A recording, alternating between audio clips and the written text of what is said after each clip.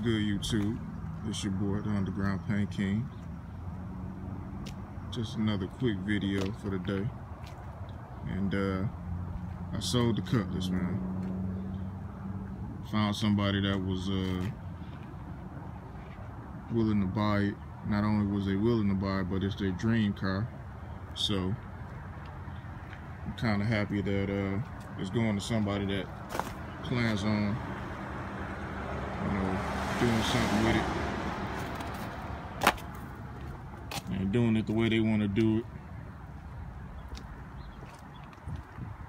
And giving it some love, man.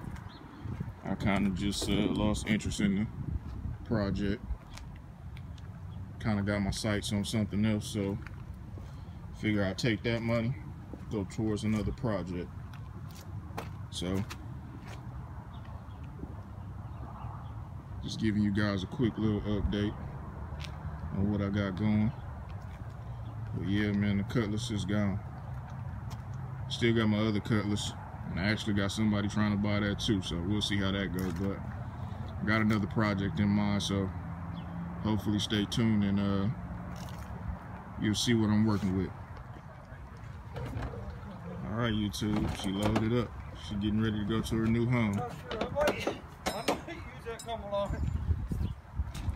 She going to a good home too. They're gonna treat her real good.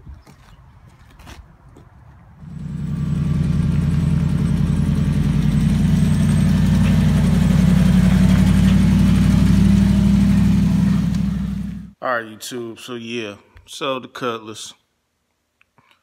You know, the buyer's happy.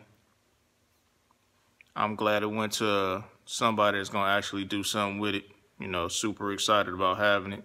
And I'm just moving on to a whole nother project. I got too many of them, so I'm gonna try to figure out which one I'm gonna do next. But uh, I need to do something real quick because my daughter is uh, going to prom this year and uh, it's her senior year, so I'm thinking about taking her in something. So I think the cutlass gonna be too small, so maybe I might be looking at doing one of my box caprices. If I can find me a vert, you know, convertible, then uh, I might go that route.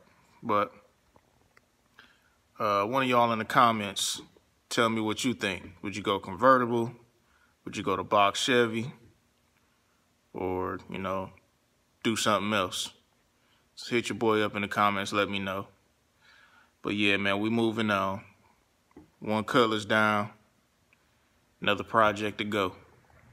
So, we out.